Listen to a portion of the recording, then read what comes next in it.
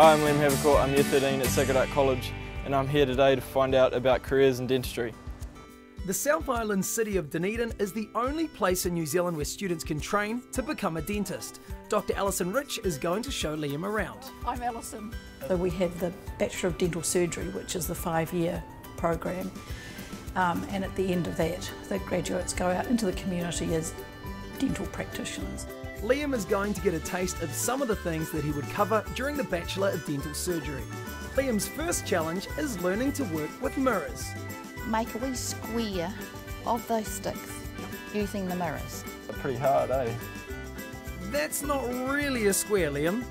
Okay, so we'll go over to the um, pods now and um, have a look in the in the mouth. We try and get you introduced to the clinical skills in here as soon as possible, but it's really towards the end of the second year. And in second year, you're counting the teeth and assessing the gum health and so forth.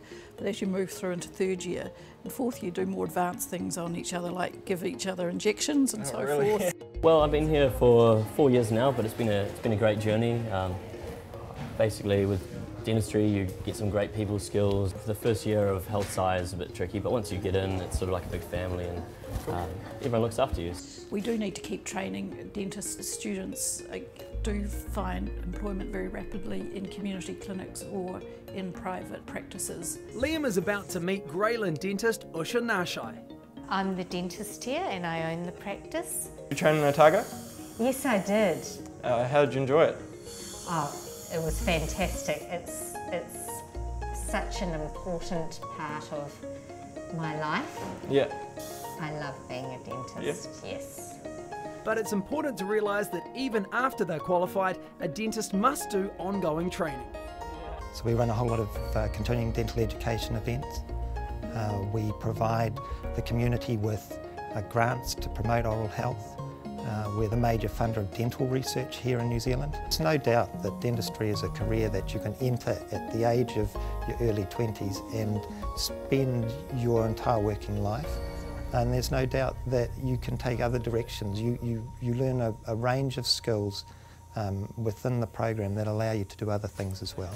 When it comes to dental careers, the five-year degree is not the only option. There's also the Bachelor of Health Science in Oral Health, which can be studied here at AUT University on Auckland's North Shore.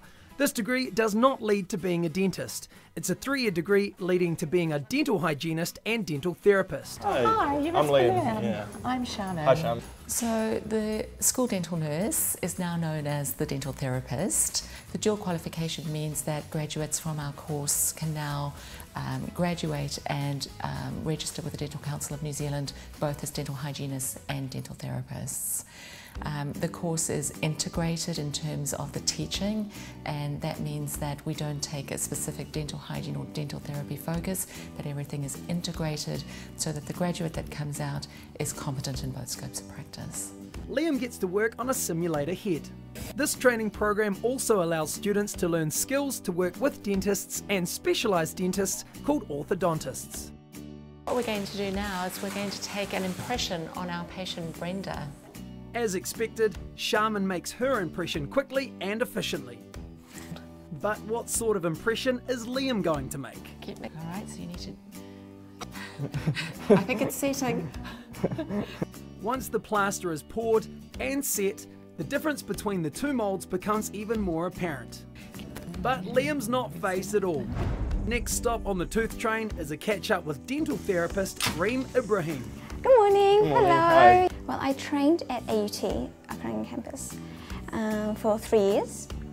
So I work two days a week in a private dental uh, clinic, and then I work three days a week here at Ponsonby Te Children's Community Clinic.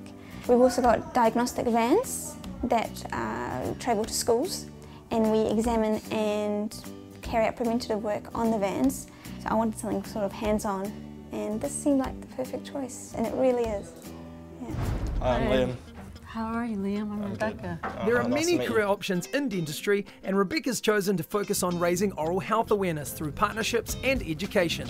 So I trained as a dentist and worked as a general dental practitioner for about 20 years. Oh, okay. And I was interested in getting into teaching and So an opening came up at AUT University, and Yep. I was one of the senior lecturers there, and eventually co-leader of the program for the Bachelor of Oral Health. And I'm very much still interested in education, and so that's a big part of what I do here. Rebecca gives Liam a glimpse of an educational DVD that they're using in schools.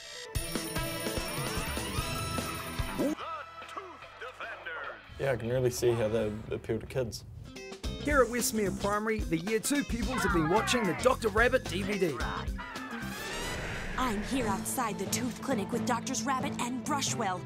But little do they know, they're about to meet the real rabbit, in the form of oral health student Vith and his fellow student Haley, assisted by Liam. That's right. Teeth, give me a big smile. Do you know who the special guest might be? Here's Dr. Rabbit.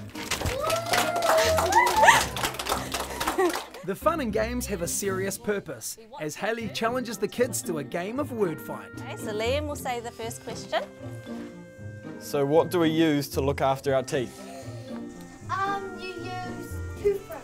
The children are soon into the swing of things. So we know that in New Zealand, 65% of the population brushes their teeth twice a day. So that means that there's a good percentage that still doesn't. So if we can just bring that up to 99% or 100%, wouldn't that be amazing? And that's, that's what my role's about, is just finding ways to do that.